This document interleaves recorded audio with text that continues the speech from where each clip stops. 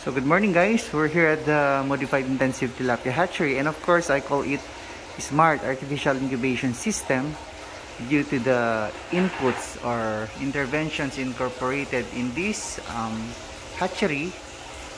So we have this Arduino to automatically control the temperature that will provide the optimum range of temperature for the eggs to hatch and of course for the fry to survive.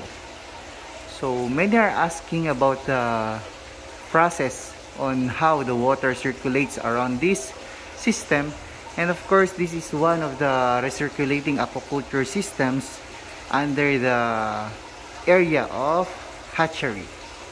So let me explain this to you. So first, um, we have these IBC tanks. We have two IBC tanks here about 2 meters high or 2.5 meters high. So this is about 2 cubic meters of water capacity. And of course we have here is the mechanical filter in order to filter the water from the AI system. And this is about three chambered filter. So for the first chamber there sorry it's closed but we have three filters. For the first chamber we put uh, stones crushed stones. Mm, look at this one. And of course in this area the second chamber uh, we put charcoal. And here it's the reservoir for the better quality or cleaner water. And we have a submersible pump here to move the water from this tank from this chamber into the IBC tanks.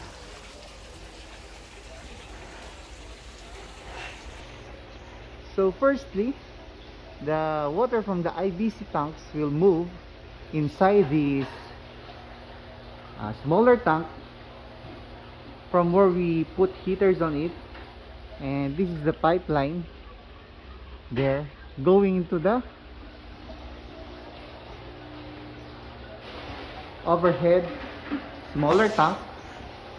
So this is another line for the water to go here. So we have a venturi here to increase the aeration or to add uh, dissolved oxygen water uh, of the water and of course we have aerators to increase more oxygen dissolved oxygen in the water. So after that the water will move into this pipe going to the artificial McDonald jars. So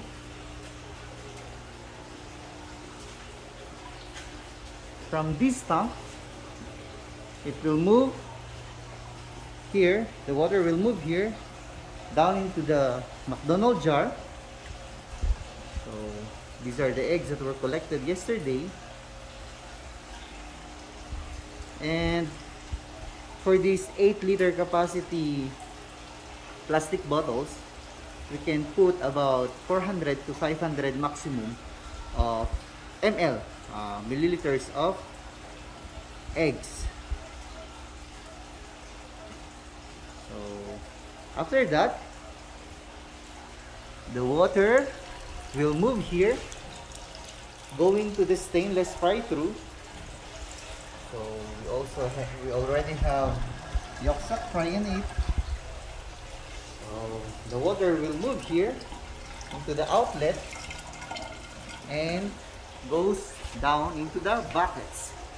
So after the buckets we have this pipe connected to it and a bigger line of pipe going into the filtration. So let's follow the line of the pipe. So if you observe it's it's yellow uh, orange. So it will the water will automatically goes here in the filtration chamber or mechanical filter and this is connected the first chamber is connected to the second chamber and the second chamber is also connected to the uh, third chamber which is the reservoir for the better quality of water. And after that the submersible pump will move the water up into the IBC tanks. So that's how it goes. The water will just circulate into the system. And we are using the water for about three to four weeks.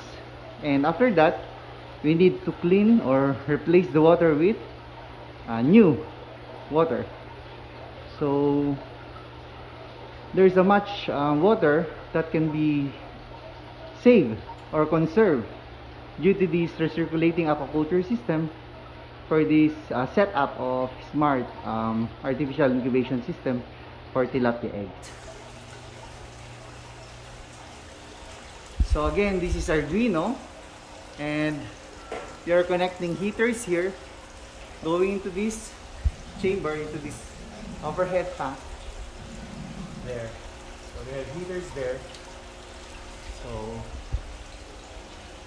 uh, it will automatically stop the heating uh, once it reaches the set temperature of about 31 degrees Celsius.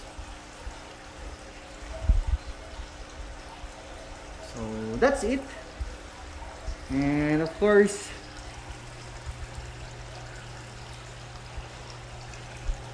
these eggs or the collected eggs is expected to be hatched in 3 to 5 days time and the yolk sac fry will stay here for about 3 days so we will be transferring this uh, yolk sac fry in the greenhouse ponds so these are the greenhouse ponds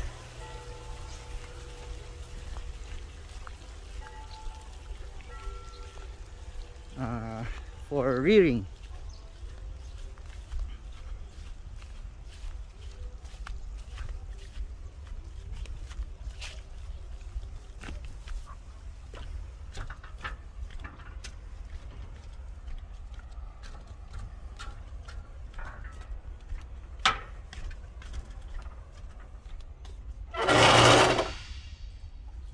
So we are rearing the produced uh, fry here for about three weeks or it depends upon the need of our fisher folk and clients. So after a month, um, we have observed that the fingerlings or the fry will grow to as much as size 17 to size 14.